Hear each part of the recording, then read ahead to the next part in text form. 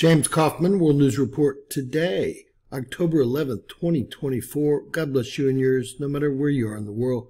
Please subscribe, give us a thumbs up, ring that bell for critical future updates. Tesla's Cybercab is here.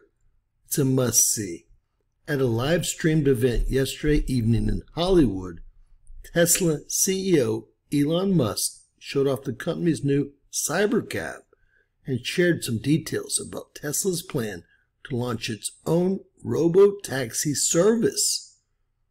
The vehicle has no steering wheel or pedals and will be fully autonomous, although production will not start until 2025. I have a feeling this is going to be a huge problem for millions of delivery drivers, Uber drivers, Lyft drivers, Grub drivers, and many more. This cyber cab and its overall platform are set to take over several markets and leave millions jobless. Is this a good thing? Well, I personally feel that it may not be a good thing. Let me know what your thoughts are in the comments below. Sawyer Merritt posted at Sawyer Merritt breaking. Here's the first look at Tesla's Cybercab. It looks sick in person.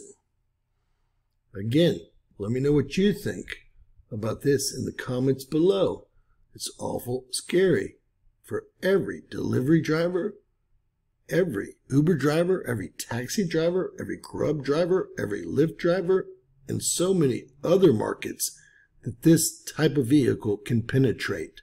Please share, subscribe, and always remember anything's possible. Bizarro World.